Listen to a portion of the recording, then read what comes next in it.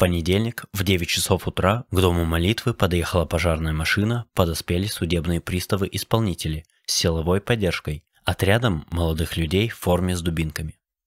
В это время верующие пели, молились, проводили богослужения в той части участка, на которую не распространяется решение судов, не распространяется исполнительное производство. Эта часть территории была отделена забором, который возвели сами приставы через подрядную организацию. Меня чаша сия. Впрочем, не как я хочу, но как ты. Отцу было угодно, чтобы Иисус Христос умер на Голгофе за нас с вами. Так было угодно Отцу Небесному. Конечно, у нас болит сердце. Конечно, нам это страх неприятно, но его рушат. И рушат на наших глазах. Братья и сестры, какая наша молитва? Господи, доминует нас эта чаша. Впрочем, не как мы хотим. Мы хотим, чтобы он стоял на месте. Мы хотим, чтобы продолжали собрания. Мы хотим, чтобы у нас было хорошее отношение с соседями. Мы за всех молимся, никому не делаем зла.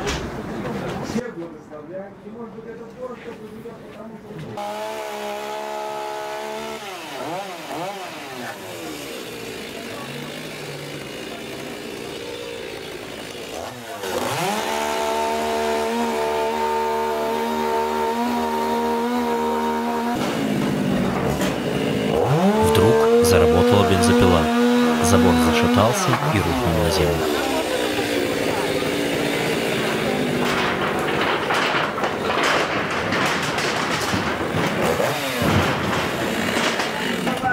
чтобы этот дом стоял. Приглашайте, что-то допустим нам и в эту Представители власти устремились на верующих, но остановились, так как верующие стояли в коленопреклоненной молитве. могущего Бога, чтобы Ты их благословил. И мы их благословляем. Не на беззаконные дела и не, нарушение, не на разрушение храма Твоего. Мы, им, мы их благословляем для спасения их душ. Господи, и мы Тебе свидетельствуем, что у нас нет зла к этим людям. И мы ничего не сделаем для того, чтобы сделать им зла. Мы их благословлять будем. Господи, но мы защищаем дом Твой, как можем.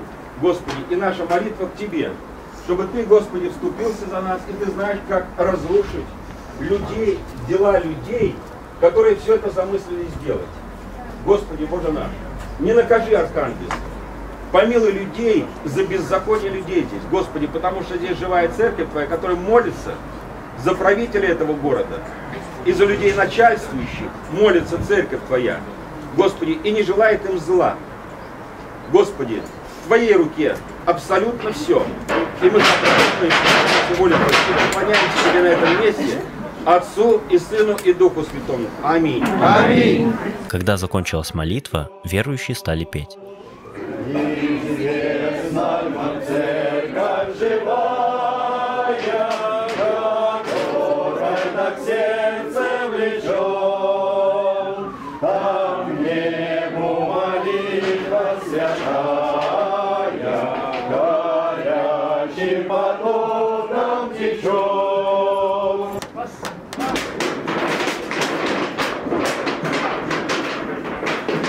После пения прошли в дом молитвы, часть оставалась на улице.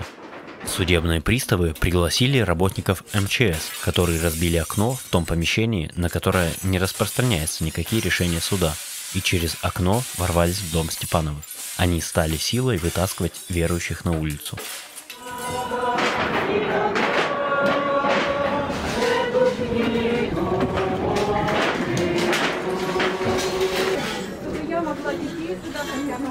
Очень достойно и спокойно озвучивала свои доводы хозяйка дома Екатерина Степанова. Ее молчаливой собеседницей была старший судебный пристав. Вы пользуетесь для демонтажных работ частью дома, в которой мы проживаем. Почему вы используете часть нашего жилого дома. Судебное решение которого не, не, не, Не задействовано нет. и не дает вам оснований Вы для не этих имеете действий. права пользоваться той частью дома, которая не подлежит демонтажу. Вы должны проект составить и рабочие вход пустите, себе. только пустите рабочих, чтобы они прошли на третий Не обязаны. Что дальше вы будете делать? У вас нет проектной документации. Уполномоченная по правам детей меня заверила на личной аудиенции, что до тех пор, пока не будет предоставлен мне проект и план работы, вы не имеете права приступать. Второе заявление ее было. И она направила это ходатайство в прокуратуру.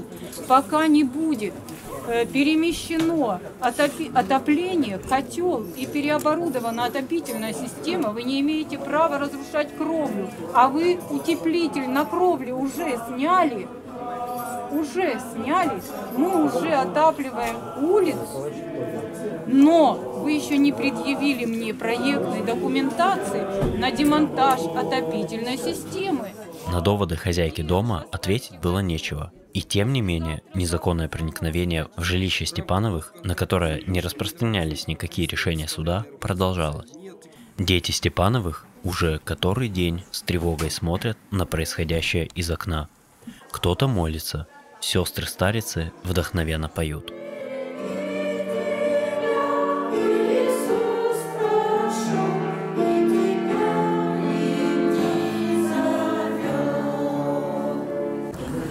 С утра здесь было хорошее богослужение. Мы прочитали Святое Писание о том, как страдал Иисус Христос, как Он, преклонив колено, молился своему Отцу. Это было сильнейшее борение. Он говорил о чаше, которую просил, чтобы Отец его пронес мимо него. Но в своей молитве он произнес такие слова «Не моя воля, но твоя да будет». Я сказал, что, братья и сестры, мы, конечно, не хотим, чтобы сносили молитвенный дом. И нам очень больно, когда это делается на наших глазах. Но мы сейчас преклоним колени и скажем нашему Богу, что да будет воля Твоя. И это наша борьба, духовная борьба. И мы должны выйти победителями в этой борьбе, в коленопреклонной молитве. И мы преклонили колени и молились. В это время ломалась, ломалась стена, которую сами же приставы воздвигнули, за которую нам не позволено было заходить. Мы не заходили на ту территорию, которая подлежит сносу. И мы не нарушали закона. Мы стояли на нашей территории, куда они не имели права входить, потому что это частная территория, и мы молились на этой территории. Они сломали свой же забор, который воздвигли, и туда запретили нам заходить, потому что там та часть здания должна быть э, снесена по э, решению суда. Мы стояли на своей территории. Но они, сломав свой же забор, вошли на нашу территорию, когда мы молились. Нам не препятствовали молиться. Мы молились э, на коленях, молились громко. Мы благословили наших гонителей. Потом мы встали с коленей и пошли в молитвенный дом, в наш молитвенный дом. И они нас начали не пускать в наш молитвенный дом, на нашу территорию. Но часть наших это время зашли люди с той стороны, которые как бы нам уже не принадлежали. Вошли люди э, со специальными предметами для взлома. И они не вошли в дом, в дверь, они начали ломать стену. Разбили стекла, стекла через э, разбитое окно. И похоже, все это делалось специально, и они это тоже дело снимали. Вот. Но наши уже были там тоже. И наших начали хватать и вытаскивать. Вот, конечно, там было уже много помещений, там было неразбериха, и там трудно было понять, что, чего, кто мог делать. Потому что там были хозяева, там были, э, значит, э, представители э, различных этих структур. Вот. Они хватали наших сестричек, пытались вытащить с этого дома. Вот. И произошла такая как бы небольшое со стороны нашей страны несогласие э, на выход с дома, который принадлежит э, семье Степановой. Мы говорили, что они зашли не на ту территорию, которую, в которую позволено им э, входить, тем более ломать. Ну, они это применили силу. Э, Кто-то из них сказал, что есть приказ так делать. вот, создавали видимость беспорядка, создавали видимость, что им сопротивление. Нашим сестрам некоторым стало плохо, двое потеряло сознание. Наших сестричек, конечно, поднялся крик, вот, э, шум поднялся, наши сестры запереживали. Я видел плачущих сестер э, эмоционально, которые не могли все это спокойно выдержать. Вот, особенно когда люди падали э, без сознания, в обморок падали. Мы вынуждены были вызвать скорую помощь, которая не приехала, как всегда. Вызывали полицию, милицию, которая приехала с большим опозданием пока у нас тут уже все не прекратилось. Мы говорили, что братья надо стоять спокойно, вот, хотя они беззаконно действуют. Но потом, по всей видимости, какой-то пришел приказ, и они все успокоились, вдруг перестали наши хватать, вот, все вдруг утихомирилось, все стали улыбаться, все стали спокойно разговаривать друг с другом, и наши, и они, и вдруг они вышли с этого помещения и зашли на свою территорию, а, которая уже считается по их законам нет и там сломали уже окно, и уже э, там ломают спокойно, мы туда не вмешиваемся, нам туда запрещено входить, мы туда и не вторгаемся. Демонтажные работы продолжались до 4 часов вечера. Ущерб уже был нанесен значительный, однако несущие конструкции пока остались целы. Верующие провели день в молитвах, песнопении и беседах с властимущими. Но поет восторженно тебе, на Голгофе дом Христом оплачен, и открыта лично счастье дверь. Благодарим, благодарим, за твою любовь благодарим. В завершении демонтажных работ судебный пристав зачитал собственнику дома протокол выполненных работ, после чего их рабочий день был завершен, и они удалились. Вечером в церкви было вновь благословенное служение. Дух Святой придет, Дух Утешитель, Он будет с вами. А почему Он Дух Утешитель? Потому что вам много придется пострадать, и Дух Святой будет утешать вас в этих скорбях. Итак, дорогие друзья, мы хотим подвести итоги сегодняшнего э, очень жаркого дня, 28 сентября, понедельник. А, мы знаем, что в нашей евангельской среде существуют разнотолки относительно поведения э, верующих в Архангельске э, в эти э, горячие дни, тяжелые.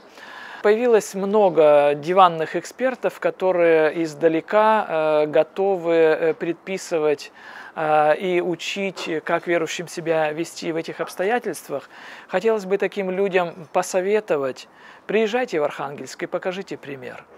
Я ответственно свидетельствую о том, что э, верующие ведут себя в рамках христианского поведения, э, не сопротивляются представителям власти, но призывают их действовать в рамках закона, делают это аккуратно, э, аргументированно, в данных обстоятельствах, э, насколько возможно, не эмоционально. Друзья, когда э, речь будет идти о нас и о нашем, вот тогда нужно проявлять максимум христианской кротости. Когда дело э, заходит или же вопрос стоит о Божьем э, и церковном, здесь мы должны проявлять некоторую твердость, принципиальность, и такие примеры мы находим в Священном Писании – Конечно же, все это не должно э, как бы заходить за рамки э, достойного христианского образцового поведения. Так здесь и происходит.